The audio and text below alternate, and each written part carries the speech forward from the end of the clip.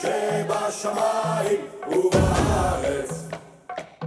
The piece titled The Day of Atonement was created between the years 1939 to 1940 by the American artist Karl Knaths.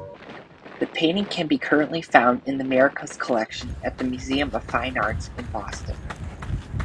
The piece is a composition as a mural made up of two large panels stacked, representing heaven and hell hell being the lower panel.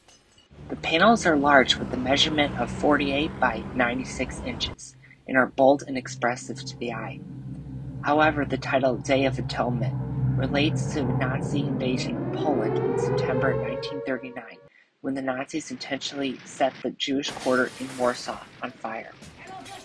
This tragic event occurred during the Jewish High Holy Days, which included the holidays Yom Kippur and Day of Atonement.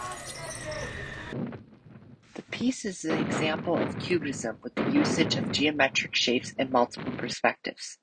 The piece can be seen as a protest towards war and fascism. Knaths's Day of Atonement was inspired by Picasso's 1937 piece Guernica, which depicts the bombing of a Basque town during the Spanish Civil War.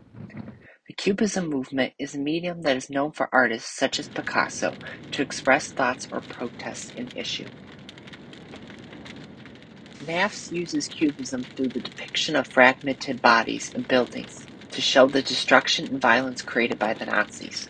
For example, a man is running through the flames in the upper right corner of the piece, while in the upper left, an innocent unarmed person is seen being threatened by a hellhound rising from the dark.